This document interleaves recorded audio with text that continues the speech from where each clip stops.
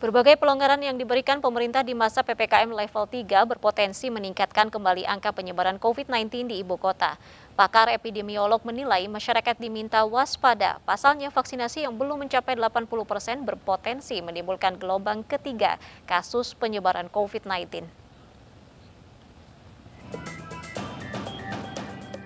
Sejumlah pelonggaran untuk menambah mobilitas masyarakat terus diberikan pemerintah pusat di masa perpanjangan PPKM level 3. Berbagai sektor yang selama masa pandemi COVID-19 telah mati suri, kini mulai berangsur pulih karena telah diizinkan kembali beroperasi. Selain sektor pendidikan, beberapa sektor lainnya yang sudah boleh kembali beroperasi adalah pusat perbelanjaan, tempat hiburan, dan juga tempat wisata.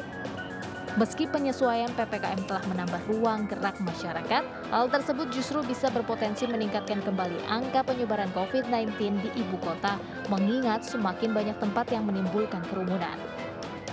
Demi mencegah terjadinya gelombang ketiga penyebaran virus corona, Pemprov DKI Jakarta menghimbau masyarakat agar tetap berada di rumah dan mematuhi protokol kesehatan. Justru di masa semakin adanya peningkatan pelonggaran harus lebih hati-hati. Logikanya sederhana ya, mari kita tetap berada di rumah sebagai tempat terbaik. Senada dengan Wakil Gubernur DKI Jakarta, pakar epidemiolog mengingatkan agar warga tidak abai dengan protokol kesehatan sebab tingkat kekebalan masyarakat atau herd immunity yang belum mencapai 80 persen sangat berpotensi memicu gelombang susulan penyebaran virus COVID-19.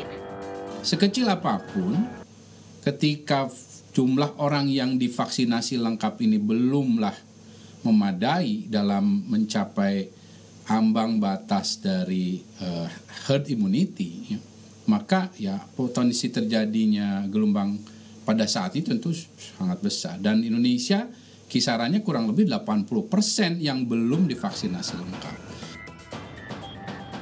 Seperti diketahui berdasarkan laporan Satgas COVID per 21 September kemarin, tercatat sebaran kasus positif COVID di Indonesia kembali naik menjadi 3.263 kasus. Oleh karenanya masyarakat diminta tetap waspada dengan tetap mematuhi protokol kesehatan secara ketat. Dari Jakarta, Rani Sanjaya, iNews melaporkan.